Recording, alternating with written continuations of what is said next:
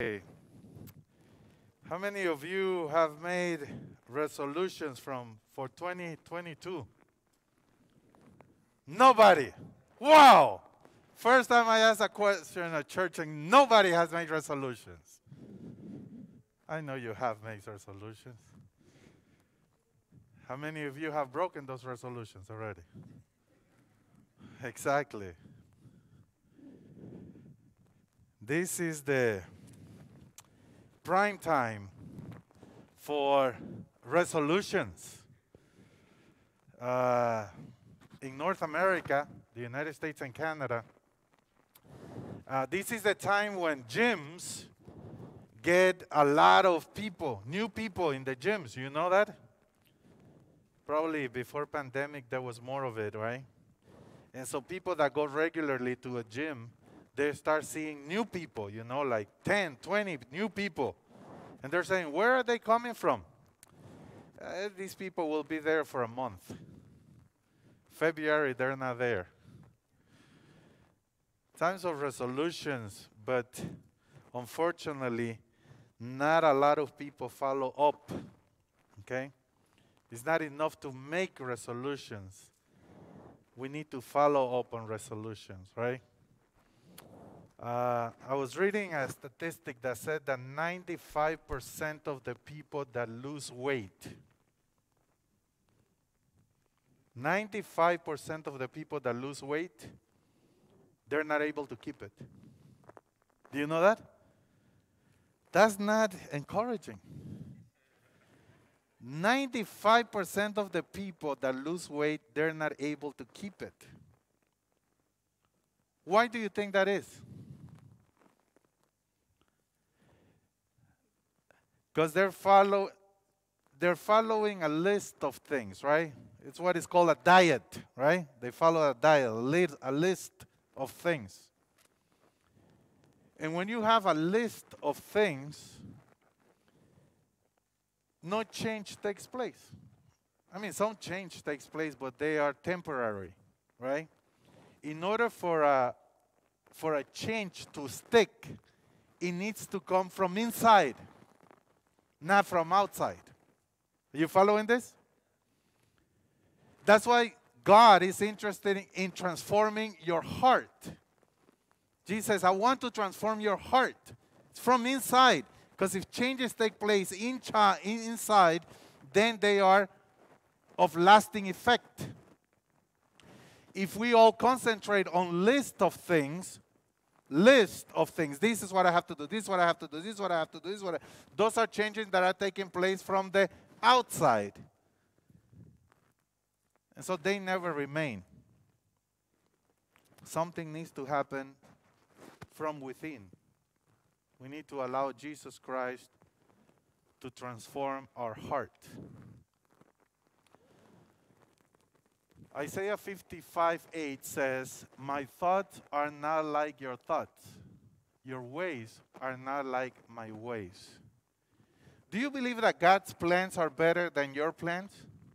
Do you believe that? God's plans are way better than our plans.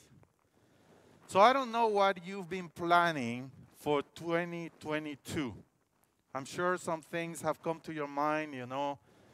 I'm going to start exercising, I'm going to start eating better, I'm going to stop uh, being rude, I'm going to stop raising my voice, I'm going to stop complaining, I'm going to do this, I'm going to do that.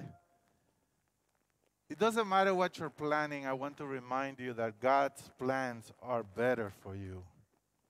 Why are God's plans better for you? Well, because God can see things you can't. Amen? God can see things that you cannot see. You see, our vision is limited. We can only see certain things, we can only see what is in front of us. Uh, a famous lady died, I think, one, a day ago, two days ago, Betty White. Do you know Betty White? Have you heard of Betty White? Wait, what is this? 2022, nobody's participating? Is that, is that something that you purpose? I'm not going to raise my hand in church anymore, 2022. How many of you have heard of Betty White? Let me see. Ah, okay, thank you, thank you. So somebody put on Facebook, a pastor put on Facebook and said, Am I the only one that have never heard of Betty White? And then some people start writing and say, No, no, you're not the only one. I've never heard of her. You know, you're not the only one. And then somebody said, Oh, don't worry, Pastor. You didn't miss anything. She was a vulgar person. Wow. And I thought about that because how can you make a statement about a person like, like, like really you know that person well? You know, to say that person was a vulgar person, you didn't miss anything. And I wonder how well do you know that person to make that statement? You see, God sees things you cannot see. Because we see what is in front of us, but God sees what? God sees the heart of a person. And sometimes we see somebody acting in a certain way and we make a profile of that person. We make an assumption. She's rude. He's vulgar.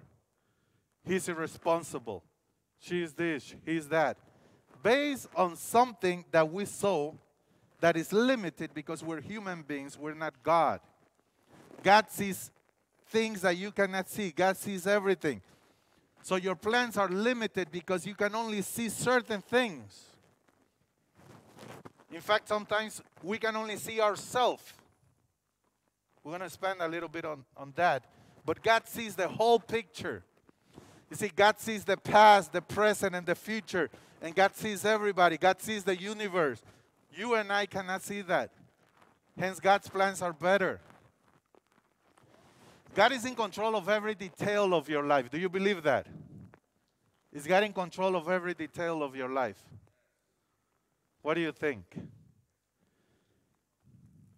Is God in control? Or does he lose control? What do people do when they lose control? Can you see God doing that? I was not waiting Mike to do that. I was not expecting Pop to do that. Can you, can you see God losing control? God is in control. His plans are better than yours. His plans are always fulfilled. You see, God had, a, God, God had a plan for Joseph. You remember Joseph in the Old Testament in Genesis? God had a plan, right? Since when he had a plan for Joseph? Since when? Yeah, since eternity, right? Now, did God at some point lose control of the plan for Joseph?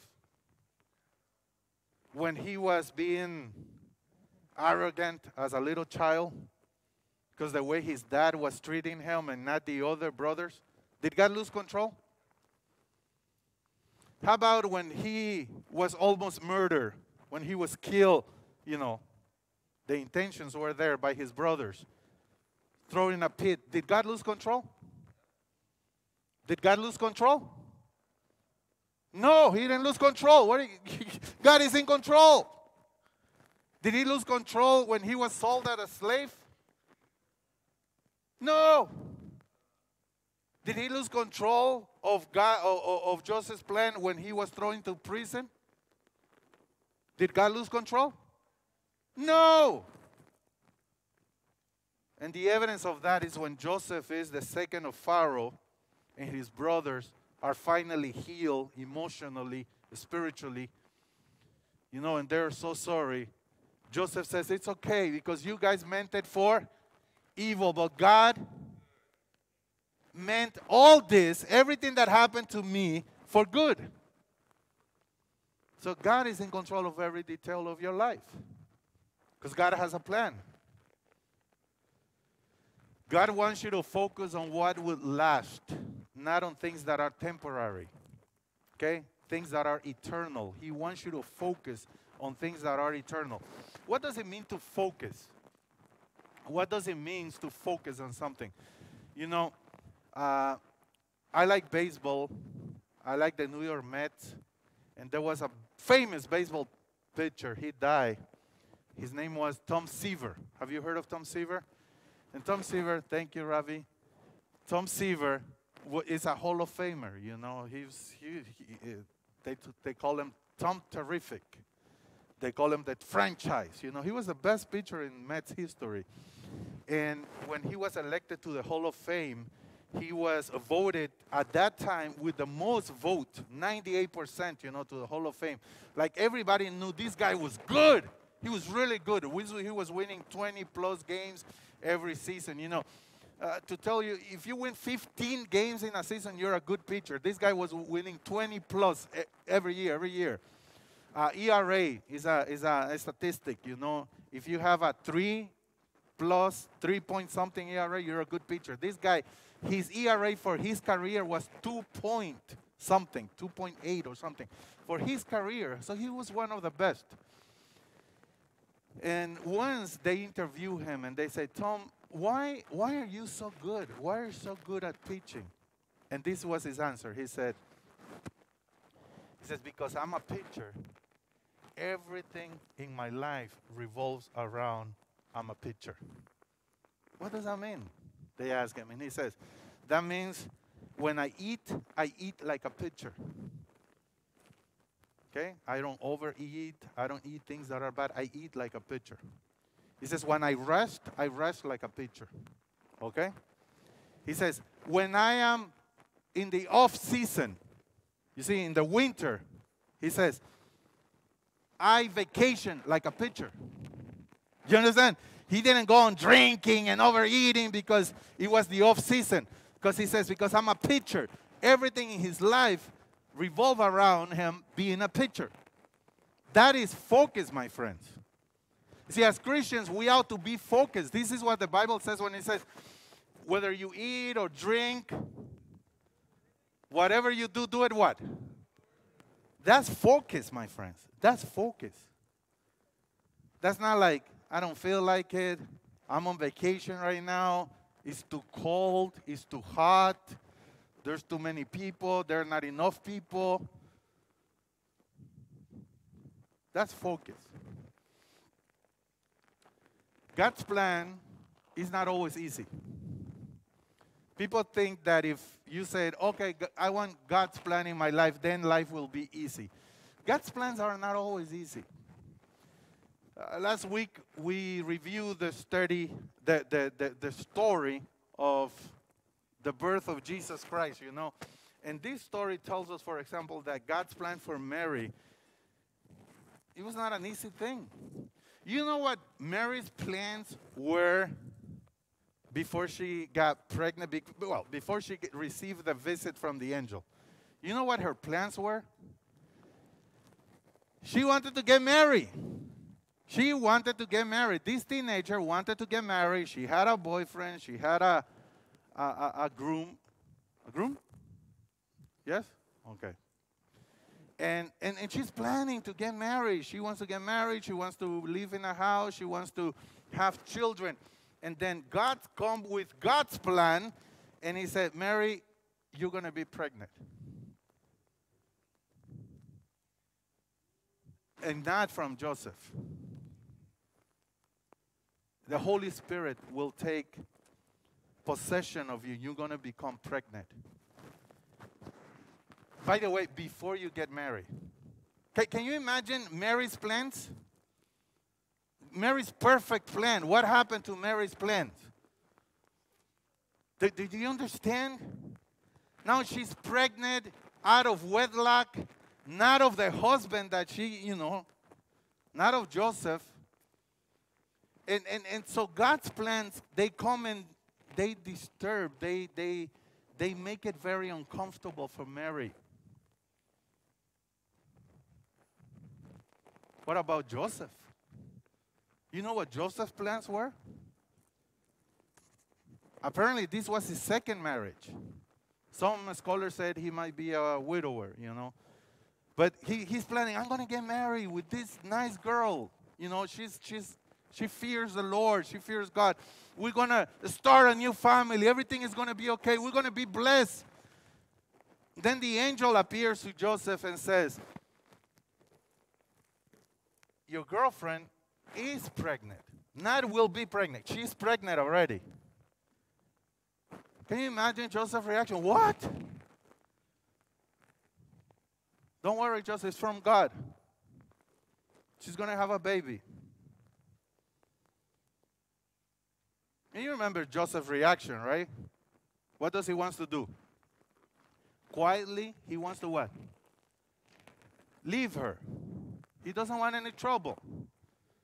By the way, Mary was supposed to be stoned because of this. She was supposed to be killed because of this. You, you think God's plans for your life are easy. Everybody is out to praise you and, and say, oh, how good. You know, you, you fear the Lord.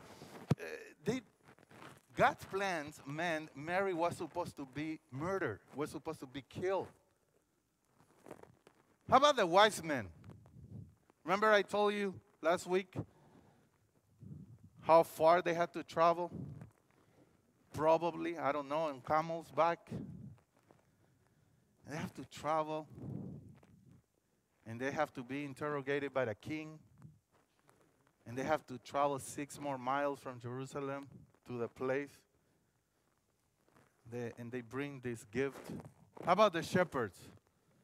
That night, it was peaceful. You know, they're out there enjoying enjoying the good weather, not this kind of weather, the good weather.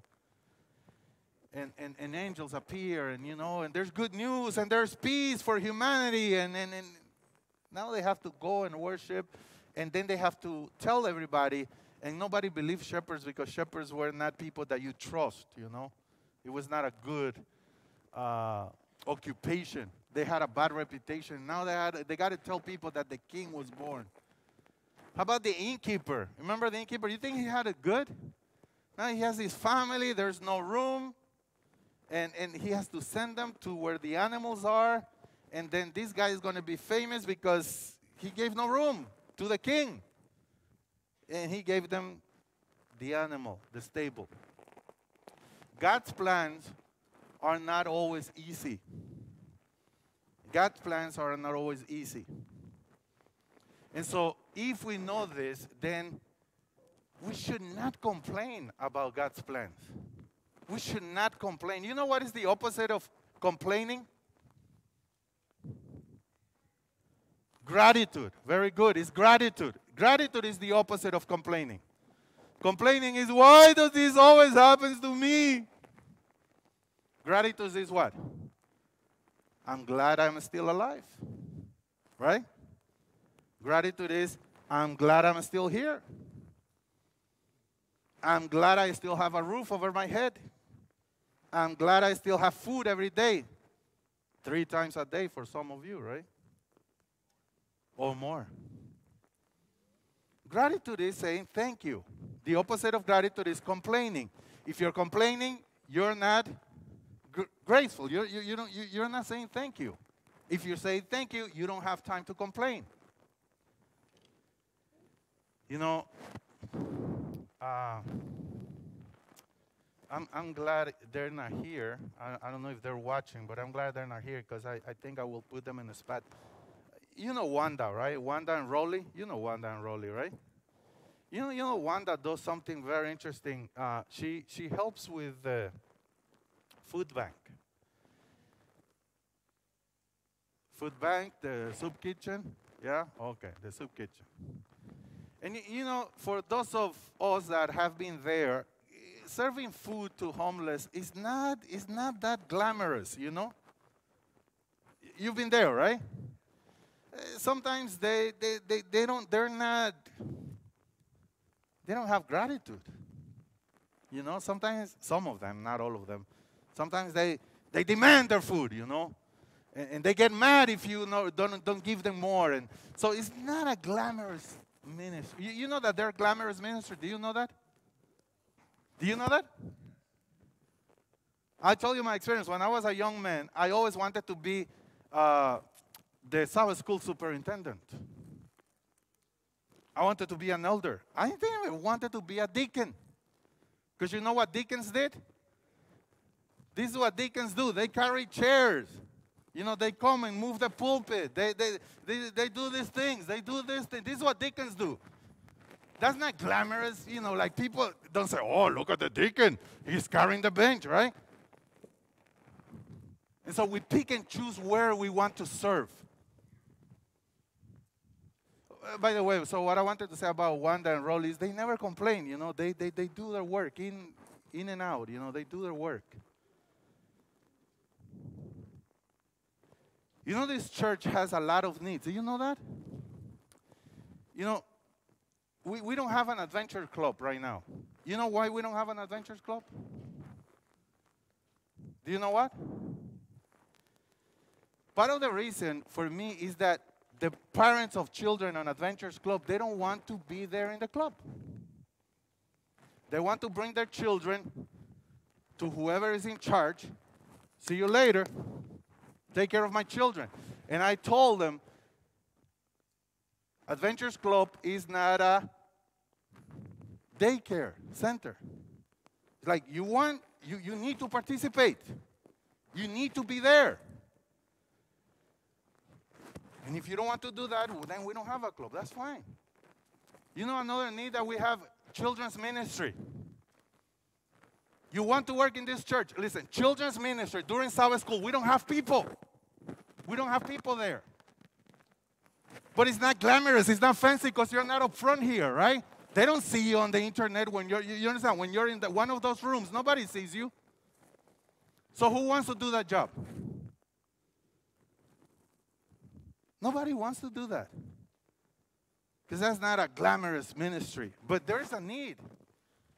And, and, and, and, and I told the person in church, listen, if you don't have parents that are willing to do that, then close it. Don't have it. What are we going to do? If you, the other parents, are not interested in your children, why would somebody else be interested?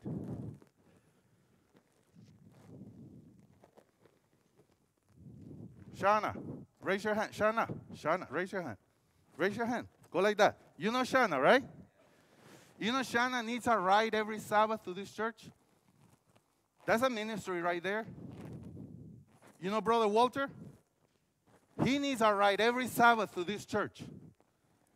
But that's not glamorous. you understand? Like, like you're not up front here because you gave a ride. You understand? In fact, you can be late because you gave a ride. You understand? And it could be difficult because, because of his hearing problem, then you don't know how to ring the bell. And the only person that knows how to do that is Sister Jane. So if you want to help you, you got to talk to Sister Jane. She'll tell you how. But but these these two individuals, these two members of our family, they need ride to the church every Sabbath. Where, where are the volunteers for that ministry? Where are the people complaining, oh, I, I don't get a chance to minister? There it is. But that's not glamorous. That's not fancy. You understand?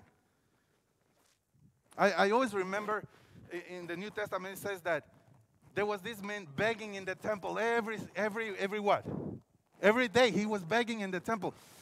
Everybody that went to the temple could not take care of these men. They came to worship God, but there's a guy begging on the temple every day. Who took care of him? I remember in a church they told me, "Oh, brother, brother Francisco over there, brother Francisco, yes, 80 years old. Oh yeah.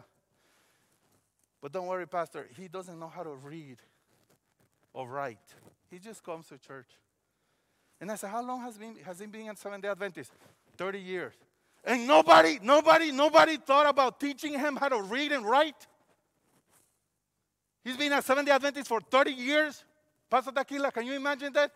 30 years. He comes in every Sabbath. He's sitting in a corner. But nobody thought, let me teach him how to write and read. Do you know why? It's not fancy. It's not glamorous. It's not being here. You understand? There's always ministry in the church to do. There's always something to do in the church. Always. But God's plans, they're not always easy. They're difficult. What are your resolutions for this year? You see, most of the resolutions have to do with self development. You know what self development is, right? I want to lose weight. I want to be healthy, right? I want to be good with my finances. Now, are those good things?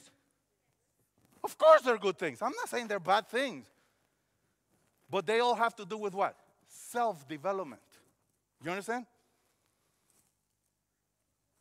What Jesus talks about in his gospel is self denying.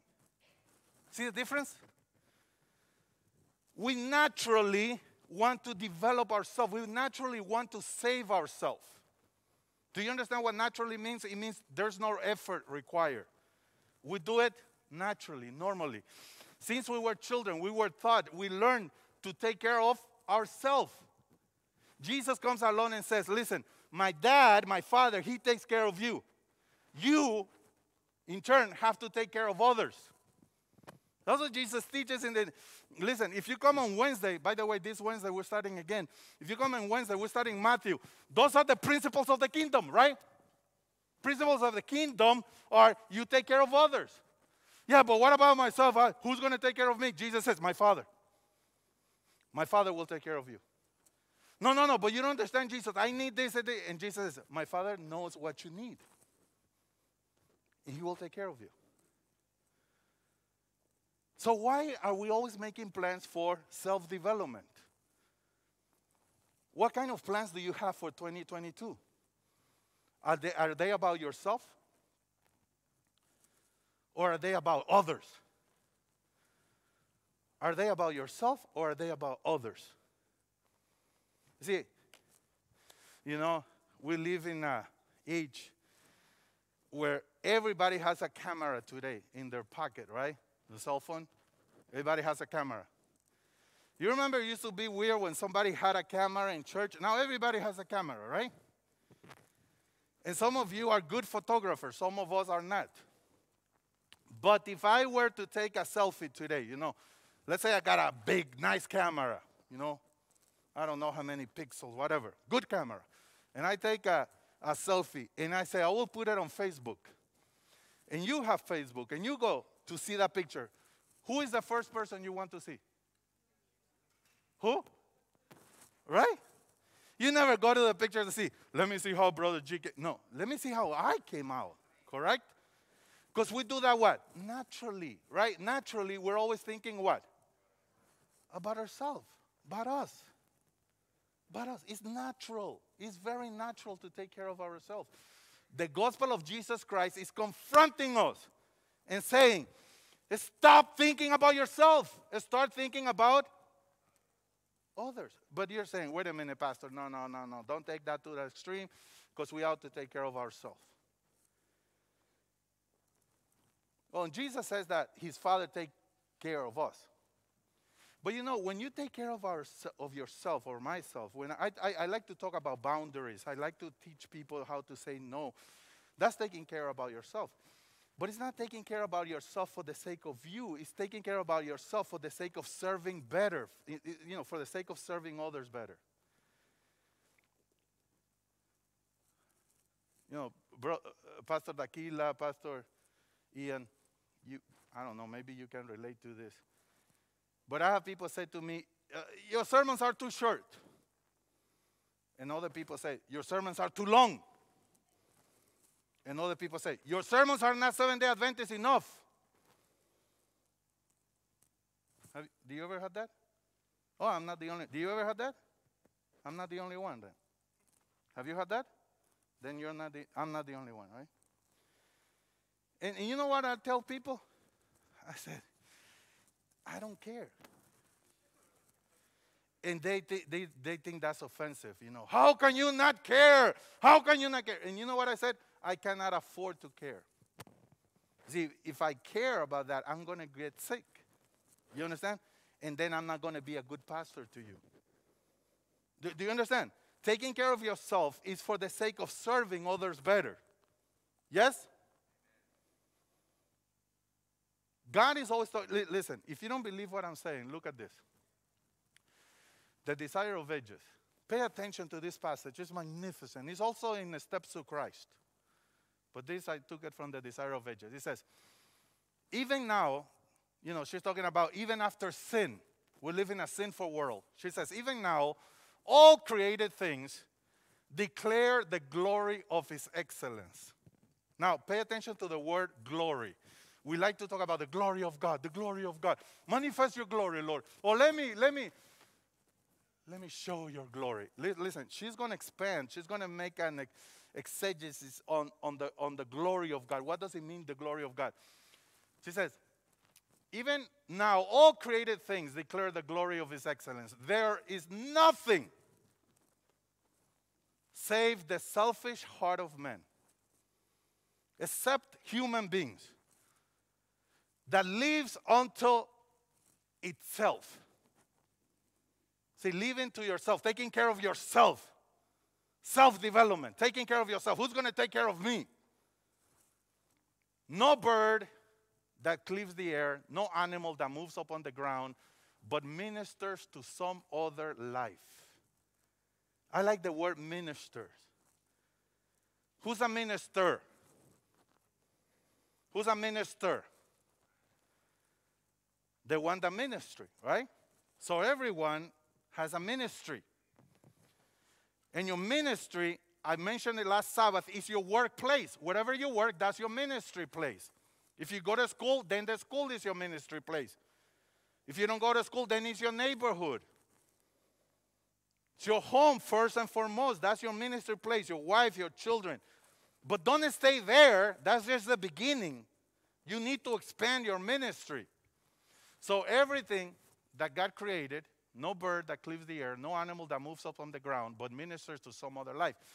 There is no leaf of the forest or lonely blade of grass, but has its ministry.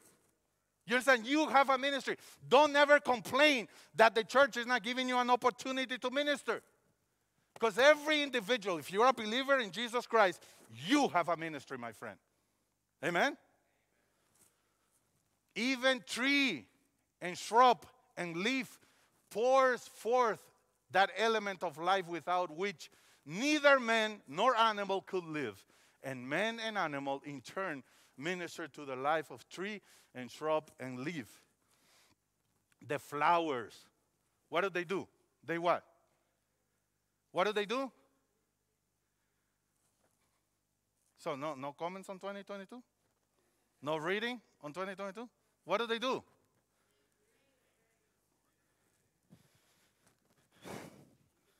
What did they do, Aiden? They, thank you. They breathe. What do they breathe? Fragrance and unfold their beauty and blessing to the world. The sun sheds its light to gladden a thousand worlds. The ocean itself, the source of all our springs and fountains, receive the streams from every land, but takes to what? Takes to give. Takes to give. It's not self development. It's not taking care of myself for the sake of myself. It's you take to what? To give. The mist ascending from its bosom fall in showers to water the earth that it may bring forth and what? Bud. The angels of glory. Look at the angels. What did they do? The angels of glory find their joy in what? You know why you're not joyful? You know why there's no joy in your life? You know why there's no joy in my life? I'm not giving. If I'm not giving, I don't have joy. How was last year? Last year was miserable. then you're not giving. Yes? They find their joy in giving. There is joy in giving. Giving love and tireless watch care to souls that are fallen and, unho- fallen and unholy. Heavenly beings woo the heart. That's an interesting word, right? Woo, right? They woo the hearts of men. They bring to this dark world light from the courts above by gentle and patient ministry. They move upon the human spirit to bring the lost into a fellowship with Christ, which is even closer than they themselves can know. And that is amazing. The angels cannot have that intimacy that we human beings, that we sinners can have with God through Jesus Christ. But turning from all lesser representations, she was giving examples of nature, but turning from all lesser representations, we behold God in Jesus. Study the life of Jesus. Study the Gospels. Looking unto Jesus, we see that it is the glory of our God to do what? You see, the glory of God is not a bright light. Oh, the glory of God. Oh, I cannot see it. No. The glory of God is to give. Are you seeing this? I do nothing of myself, says Christ. The living Father has sent me, and I live by the Father. I seek not mine own glory, but the glory of Him that sent me. In these words, watch what she says. In these words is set forth the great principle, which is the law of life for the universe. Some of you like to talk about the law of God, right? The law, the law, the law. This is the law of the universe. And many of us are breaking that law. Right? Because we're not what? We're not giving. That's right. We're not giving. That's the law of life for the universe. I will dare to say, I will suggest, that's the plan of God for your life. You were created to give. You were created to receive from God and you were created to give what God has given you to others, to bless others. We are blessed to be a blessing. All things Christ received from God, but he took to give, like the ocean, right? Take to give. So, in the heavenly courts, in his ministry for all created beings, through the beloved Son, the Father's life flows out to whom? To Sabbath keepers? To only what those that give the tithe back? Only to vegetarians? To whom? To all human beings. God gives to all. God gives to all. To all. To drug addicts, to alcoholics, to murderers, to thieves, God gives. Through the Son, it returns in praise and joyous service, a tide of love to the great source of all. And those through Christ, the circuit of beneficency. I hope I said that word right. Beneficence is complete, representing the character of the great giver, the law of life. That is God's plan for you, not only for 2022, but for your life here on earth. Luke 14, 25 says, And there went great multitudes with him. Do you know that Jesus was always surrounded by great multitudes? Do you know that? You see, we read this, a scholar said, a commentator said, but we don't smell the people. You see, when we say great multitude follow Jesus, we don't smell the people. Have you been around, well, not in the last two years, right? But have you been around a lot of people, close to a lot of people? In those years, in those times, they didn't shower every day. It was not possible. You understand? The roads had dust. So people what? People smell. And this great multitude was always following Jesus. More than that, you know, these people had a, they had some conditions. Most of them were what? They were sick. And you know what they wanted to do with Jesus? What did they want to do with Jesus? Eh? Touch him. So, so think of about these movies. Uh, you know, people that are sick want to touch you, right? It's like, you know, you understand? And wherever he went, those people went with him. Wherever he went. That's why in the New Testament you find Jesus went usually to a lake, you know, to the sea. Because it seems that that was the only way that he could get on a boat and what? And get, be away from the people. Because all these people, smelly people, people complaining, people with diseases, they wanted to touch Jesus, they wanted to be around Jesus. Do you like to be around people? Like that? Do you like to be around people like that? Even Jesus sometimes said, listen, I, I, need, I need to. You know, you know, Jesus said that sometimes? We, we need to be. Some, some of us think we're greater than Jesus. Pastor, you have always you, you always have to be available. I, I'm not the Holy Spirit. I'm not Jesus. I'm telling you that. So, so Jesus sees his people, they're following him. And then he turns, he turns around and watch this. He turns to the people that are following him and he says, If any man come to me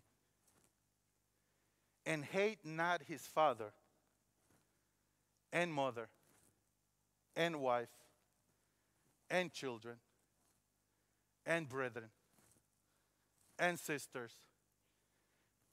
He and his own life also, he cannot be my disciple. Wow. Does that sound nice? How does that sound? See, the people are following him. The people are following him wherever he goes. And then he turns to them and says, Oh, you that are following me, if you don't hate your father, your mother, your sister, your children, even your own life, you cannot be my disciple. Well, the first thing is, he's not talking about the feeling of hate. I hate, you know, like a teenager will say to his dad, right? To her dad, I hate you, dad. I hate you, mom. No, no, it's not that. And he's not hate his own life, you know, like some people say, I hate my life. I want to kill myself. It's not that. How do we know? Well, because Jesus doesn't contradict himself. And Jesus said in the Sermon on the Mount, go back to Matthew again, right? And he says that if you only think of hate towards somebody, what is that considered? What did Jesus say in the Sermon on the Mount? If you, if you, if you only think of hating somebody, what is that? You understand? So Jesus is not saying hate your father in that sense. What is he talking about? He's talking about putting somebody else at the center of your life, putting the focus of your life around your, fa- your parents or your children or your wife or your husband or your siblings. You, you know, we do that. If my wife leaves me, I'm dead. If my husband leaves me, I'll die. No, you won't die. No. He and she is not the source of life. The source of life is Jesus Christ. If my children, no, you will not die. The children are not the source of your life. If my family, no, your family is not the source of life. No, it's Jesus Christ the source of life. Amen? But then Jesus said, but if you focus on yourself, that is, if you if you focus on yourself, self-development, I need, I need this, I need that, I need that. Then Jesus says, then you cannot be my disciple. Then who has to be the center of my life? According to Jesus, he says, I am a, I'm out to be the center of your life. And if I am the center of your life, guess what? Then you're equipped to bless others to bless your wife, to bless your husband, to bless your children. I find it very interesting when people say, My wife is my universe. My husband is my universe. Others say, My children are my universe. Meaning they care a lot about them. And then I said, But if you don't have God in your heart, you have nothing to give them. So you're lying. You're a liar. They're not really the center. Because if God is not the center of your life, you have nothing to give. a house, a car, a career, all of that will disappear. You know that, right?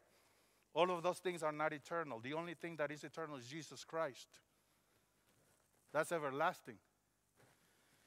You know, we naturally are drawn to self preservation, to save ourselves. You, you know that I said that you should never talk about vaccines from this pulpit. Remember? I've said that to a lot of preachers. So I'm going to talk about vaccine today because I'm going to talk about both groups. People that get vaccinated, they never get vaccinated because of others. People get vaccinated because of them. Right? And people that do not get vaccinated, they never, they don't get the vaccine because of others. They don't get vaccinated because of them. So on both ends, the motive is what? Self. That's why that discussion is nonsense. I don't want to talk about that because it's all egocentric and it goes against the gospel. And when he had called the people unto him, that's all I'm going to say about vaccine, by the way. And when he had called the people unto him with his disciples, also he said unto them, Whosoever will come after me, let him what? Let him deny himself and take up his cross and what? And follow me. For, so, for whosoever will save his life shall what? Lose it. But whosoever shall lose his life for my sake, see, Jesus says, for my sake, and the Gospels, the, sh- the same shall what? You understand what Jesus is saying here? Do you understand this? He says that if you live for yourself, you will have nothing to show off for. But if you live for others, you will have eternal life.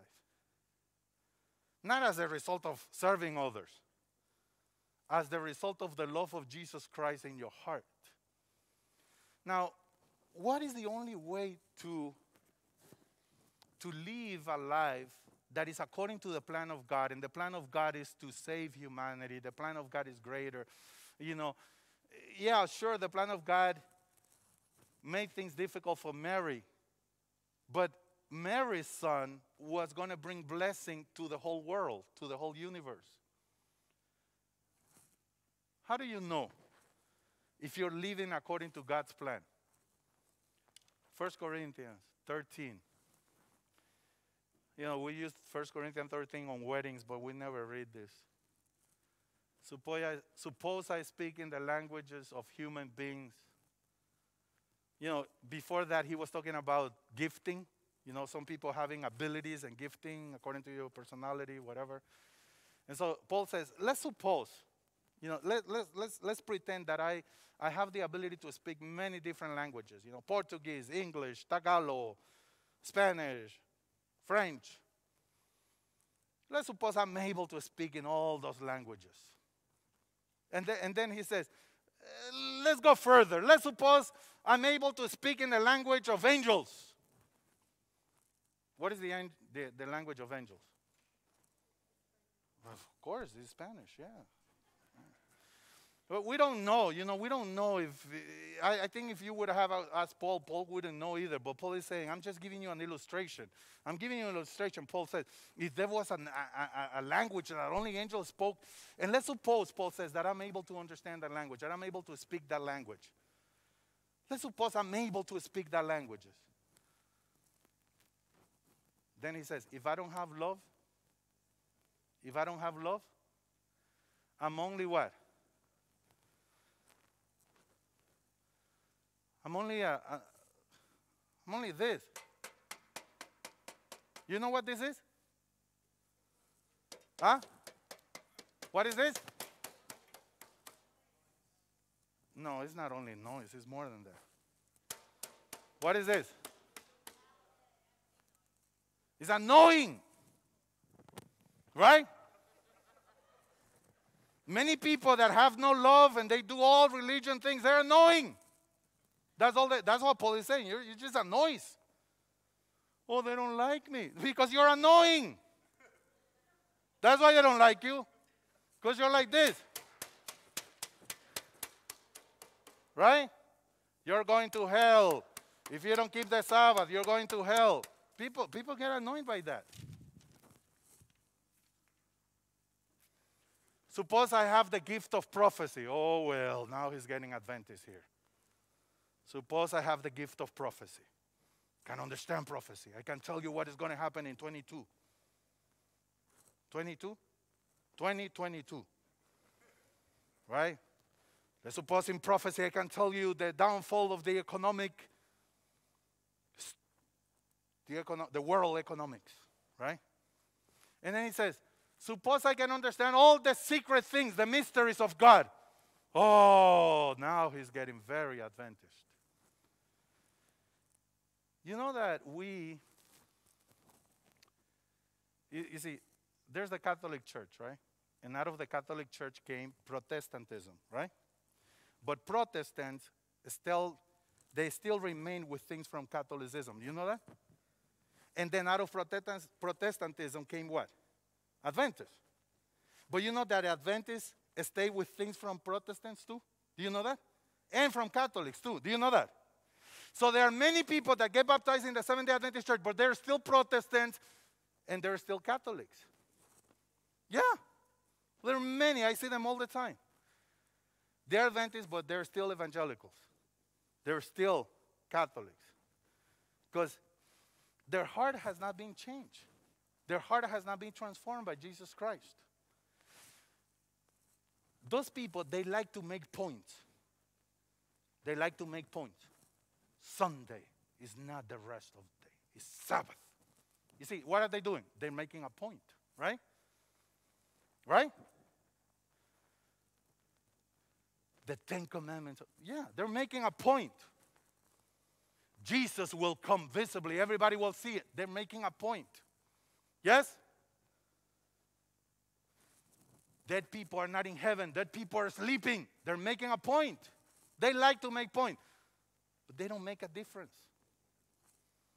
They don't make a difference. They make points, but they don't make differences. You know why Jesus was killed? Jesus was not killed for making points. Bear with me. Jesus said, I am the Son of God. I am God. Is that why they killed him? Is that why they killed him? That's no reason to kill somebody. You think Jesus was the only one, the first one to say that he was God? No, there were many crazy people that have said that before Jesus and after Jesus Christ. Even today, there are people that say they're God. How come we don't kill them? Because you don't kill people for making points. You kill people if they're making a difference. See, the problem was, you know, Jesus, Jesus uh, I, I did many miracles. For which one of them do you want to kill me? Remember that?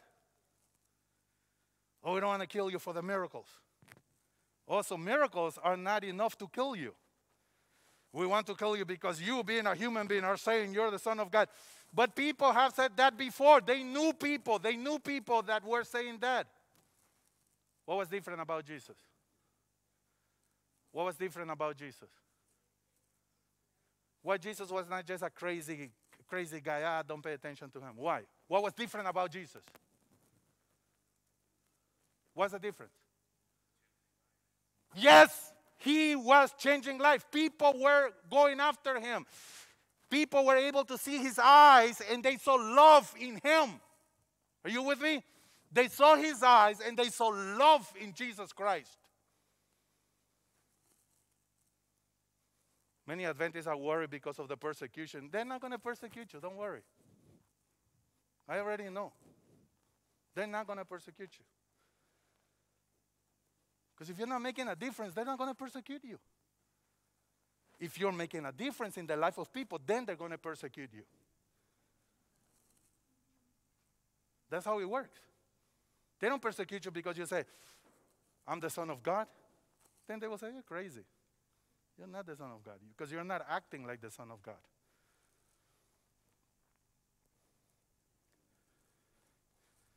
There are ministries in this church that need people.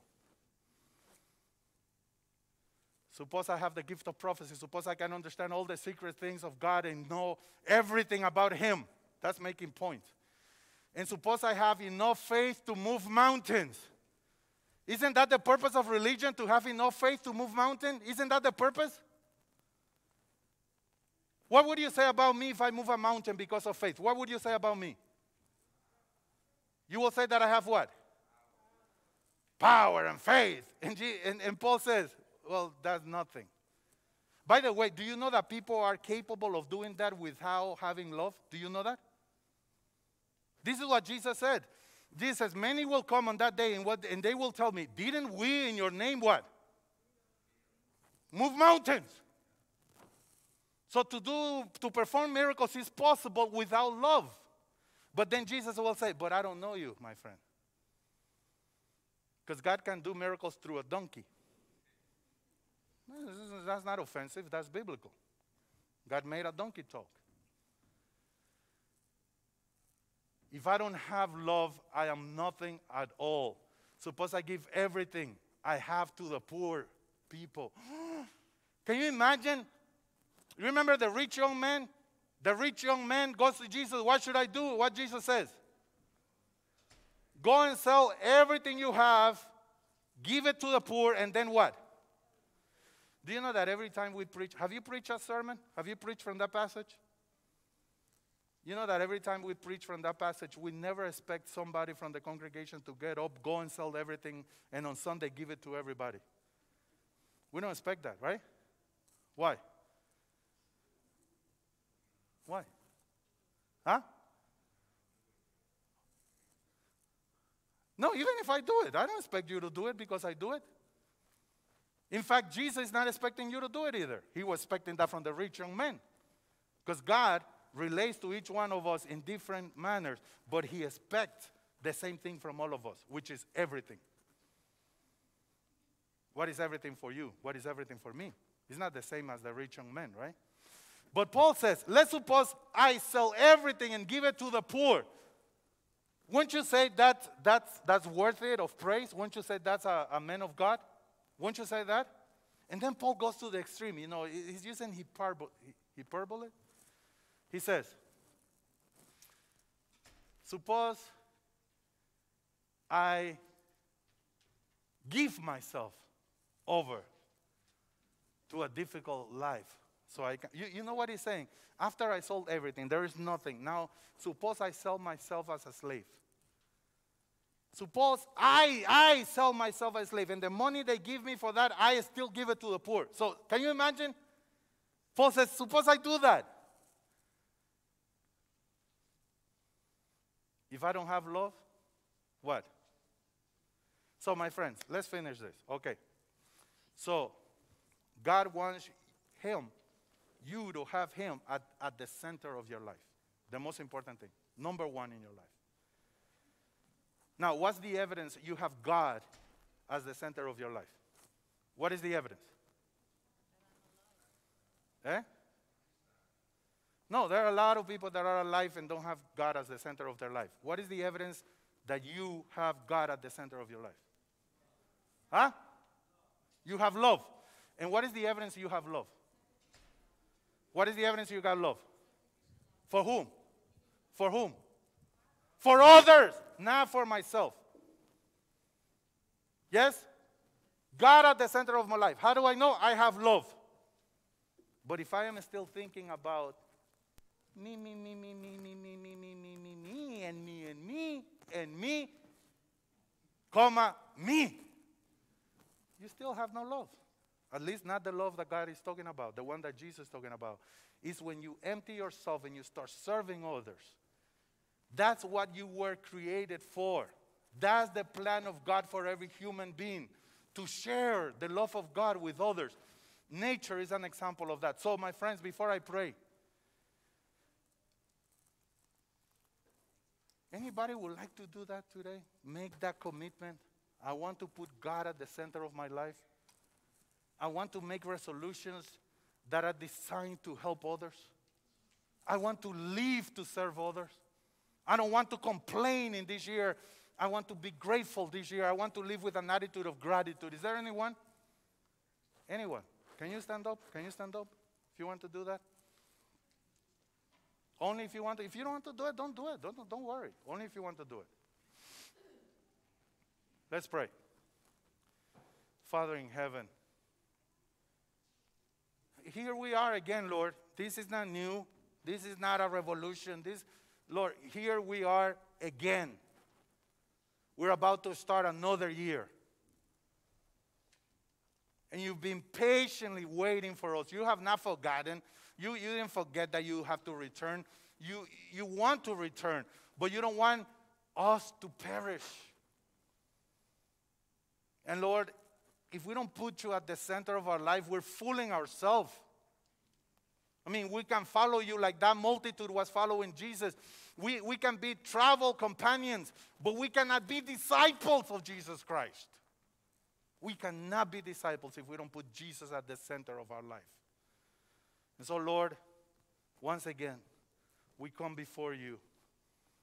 Take our heart, take our, take our mind, take our, our desires. Take possession of our hearts, Lord. That's the only way I can be a good husband. That's the only way I can be a good wife. That's the only way I can be a good son, a good daughter, a good brother, a good sister, a good neighbor. That's the only way I can be a good missionary. Lord, I want you to be the center of our life. You, number one, you, priority. We want to be like you, Lord. You are love. You give. We want to be like you. You want us to be like you. So look at the sincerity of our heart, look at our desires. And please, Lord, perform a miracle in our life. We pray in the name of Jesus Christ. Amen.